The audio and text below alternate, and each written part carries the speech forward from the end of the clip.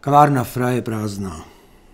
Až letos vykvetou sakury před vstupem do Fra, nikomu nespadne okvětní plátek do kafe. Dobré ráno, dobré poledne, dobrý večer. Vítám vás ve Fra, děkuji, že jste přišli.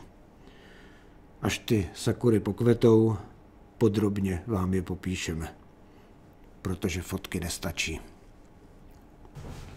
Díky.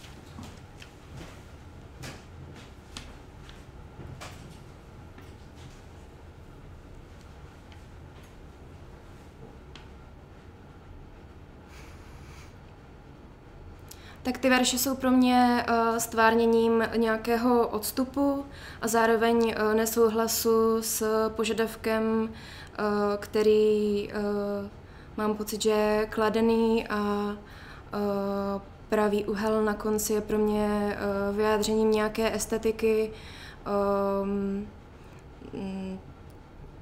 jako uspořádanosti nějakých eh, pravidelných liní, eh, kterými se snažím dosáhnout eh, nějaké utopické dokonalosti, nějaké přesnosti v, kontrastu s tím, že někdy mi to uniká, někdy je to um, spíš porušení těch liní, uh, něčeho, um, snažím se jako vymezit proti um, proti těm uh, požadavkům té přesnosti.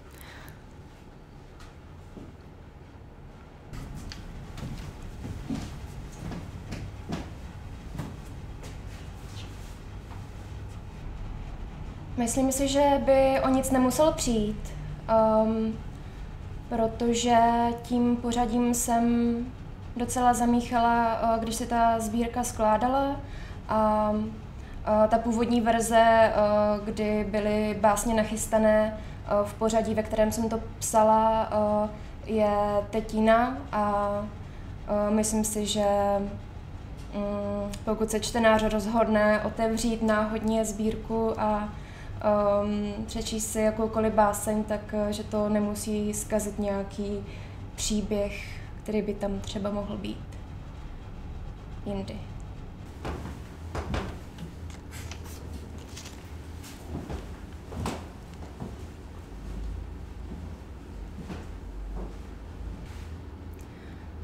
Většinou se snažím mít to psaní nějak pod kontrolou. Uh, nevím, jestli mě připadl nějaký záchvat inspirace přímo, ale um, po další odmlce, kdy jsem nepsala, kdy jsem um, měla pauzu, aniž bych se proto rozhodla, uh, jsem po delší době napsala uh, um, první delší báseň, která je i v té sbírce jako první.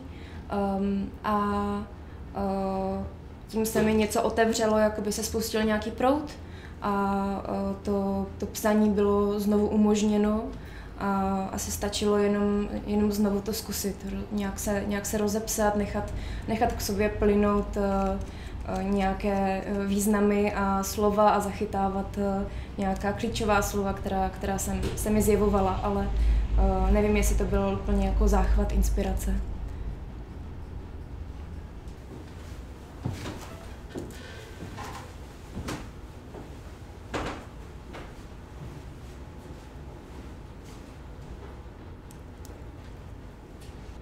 Koukám se z okna na uh, ulici, která je slepá, není průjezdná. Uh, pravděpodobně na um, uh, bílý starý favorit od mé babičky. Um, na protější žlutý dům, na rozkvetlou pivoňku, na procházejícího šedého kocoura. Um, pootáčím hlavu od toho okna k počítači a zase zpátky. Tak já bych ještě ráda něco řekla k tomu názvu, k pravému úhlu, uh, protože se mě na to ptalo dost lidí a um, myslím si, že uh, je to zároveň vyjádření nějakého uh, správného úhlu pohledu, ale už i v tom samotném názvu je spochybnění, protože je to jenom nějaký omezený výsek, uh, 90 stupňů jako nedotažení něčeho a vlastně mm, boj s nějakým necelkem a um, s nějakým vymezením se proti uh, ideálnímu utopickému prostoru. Mezi domovem a domovem mezinárodní prostor. Tichá pošta mezi prvním a druhým spánkem.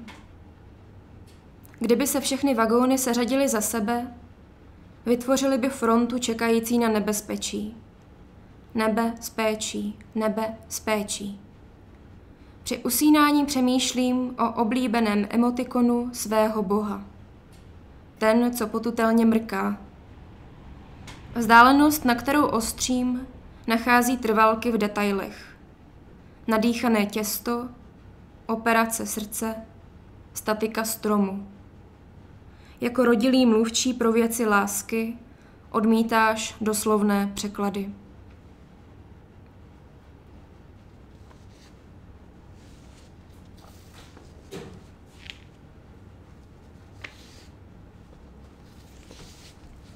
Aby věci zůstaly tak, jak jsem zvyklá. Chodíme v domě nahoru a dolů, s rukama zdviženýma nad hlavou jako průvodci a poté je nahrazujeme dalšími důležitými nástroji. Dvakrát týdně navštěvuji jiný dům, ve kterém mluvím o příliš žlutém světle, úlevě, kterou výdám ve snech. Záblesk ruky vypálené do sítnice bledne. Nakonec všechno odejde, ani si nevšimneš.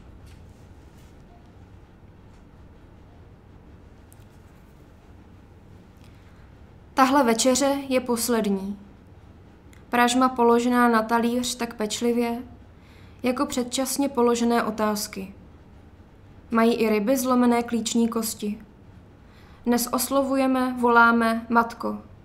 Dnes oslavujeme, že nikdo nechybí. Je to má vina, má veliká vina. Lámu si kosti v tloukáním do hrudi, nekonám, co mám konat, ale žiji svůj život, protože mám svůj pokoj. Kruhový objezd v bytě je můj strach, že ne- nedám ti přednost a narazím.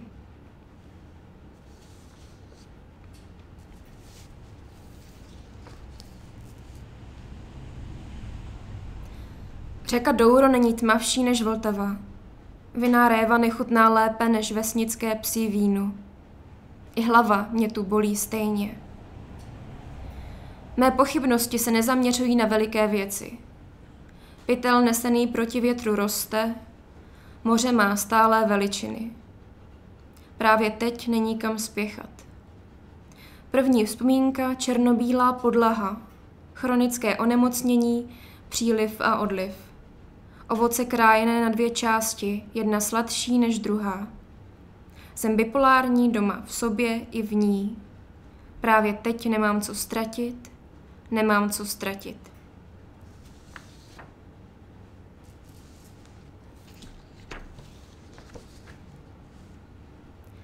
Vydejte se na dlouhou cestu za chybou. Všechno má svou stinnou stránku, i má ruka v nepřirozeném úhlu vrhá stín. Co když ale stojím v pravé poledne na ideálním místě, pane doktore? Nechodím za vámi trpět, ale sbírat slova jako houby po dešti, nacházet mezi stařeckými skvrnami, cestu ven z nejhlubšího lesa, na jehož konci čeká rozuřené dětství.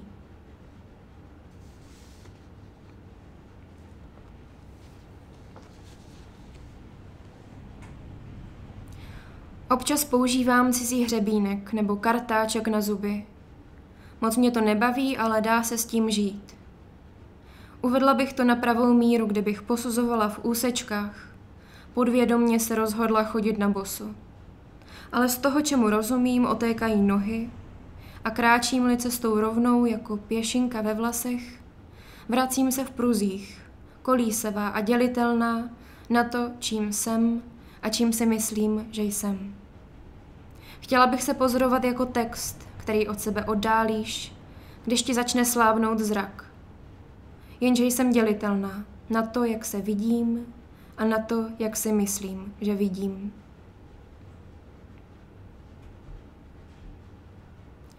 Na samotě není nic ušlechtilého, vysvětluju své imaginární kočce a vracím do lednice víno místo mlíka.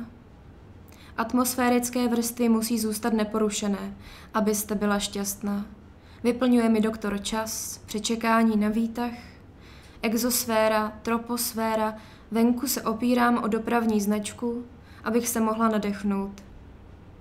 Terapie se nedaří, zdravím svou kočku, skloním se, pohladím sinusoidu, prohnutý hřbet a do lednice pro mlíko.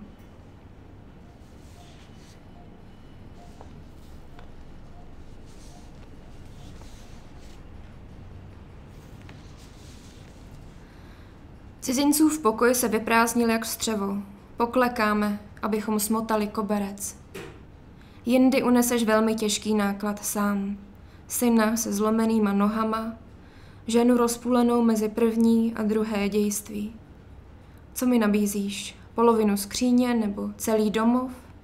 Drama, na který každý reagujeme jinak? Mé dlouhé rukávy jsou napnuté vpřed, protože oblékáš vlákna ze záchrané vesty. Rodová příslušnost nám určuje pokoje, útulky pro poslušnost. Pozoruješ kresbu dřeva na podlaze. Naslouchám zvuku stojaté vody ve vaně.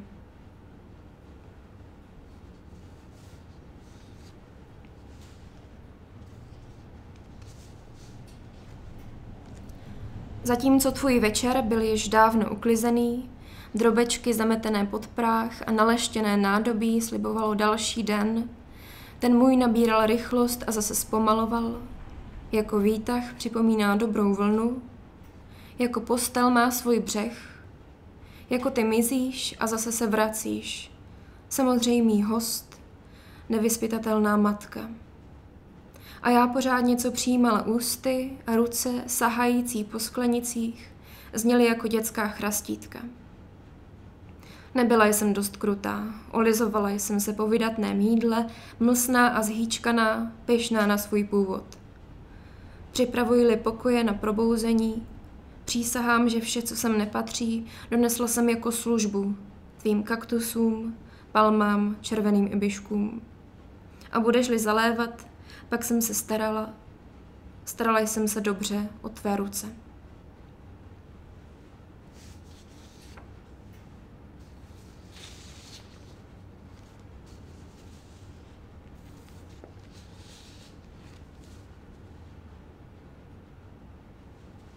Na nafukovacím lehátku se nechávám unášet vlnami, ale je to nehybnost postele, za které sleduji ptactvo, jeřáby s betonem, opisující polokružnice v posunku odmítání.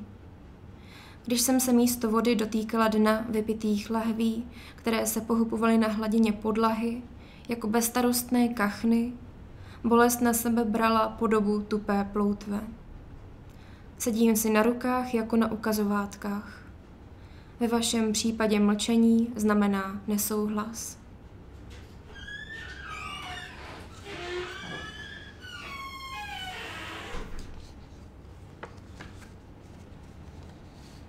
Dveře jsou pootevřená ústa, mluví ve zdrobnělinách a ohýbají horní red, způsobem vedoucím k nevolnosti. Plovací blána pro případ nouze je napínavá jako čas mezi trnutím a trhnutím. Každou chvíli přerušíš mé počítání. Připomeneš mi piruety pachů, mimické vrázky, prolákliny mezi předsudkem a dospělostí. Zarovnávám ručičky hodin do pravých úhlů. Vylaďuji podání ruky k dokonalosti. Sčítám chloupky na svém těle, sčítám svou a tvou kůži. Vidím mi dravou depresi, jak krouží po pokoji a schovává přede mnou lahve. Zarámuji si odvahu a budu se k ní modlit. Modlím se za odvahu, počítám modlitby.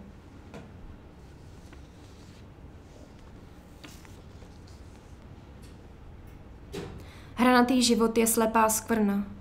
Vymodlený tvar, do kterého se soukáš a berlí proskoumáváš terén. Pod vědomím je největší tma. Jsme jeřáby umístěné do divočiny, vláčné pohyby, o které se nezapřeš, těla těhotná ze setrvačnosti. Není jiná možnost, než to poslat dál, rodit paniku, úzkost, paranoju, sestrojit nevěru, pozvat si do bytu cizí element. Nahmatáš hýždi z mramoru, kost, kterou zahledneš v raním světle, bim bam, bim bam. Význam štíhlých hran už nemá smysl, tohle bylo jen jednou, ale ne naposled. Mluvíme stejným jazykem, ale rozumíme si při trapném odkašlání.